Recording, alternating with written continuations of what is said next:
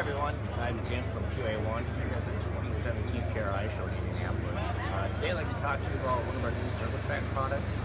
Uh, this is the Gear 63 series. Uh, basically, it's a sealed, non-rebuildable shock. Uh, it's going to be aluminum threaded bodies to use the coil over. Um, basically, we've been approached by many tracks and sanctioning bodies um, to have a shock wheel or a spec shock uh, that's non-rebuildable well to try to control costs. Um, basically, we took our um, well-known popular 62 series and made a sealed version of it, uh, which is now the 63. Uh, unique thing about this is it's available in any previous valving that we've had.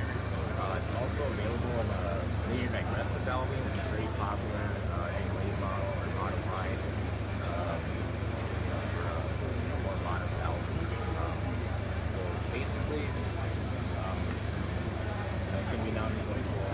It's um, used to save costs for uh, for more information, uh, you can call our tech line or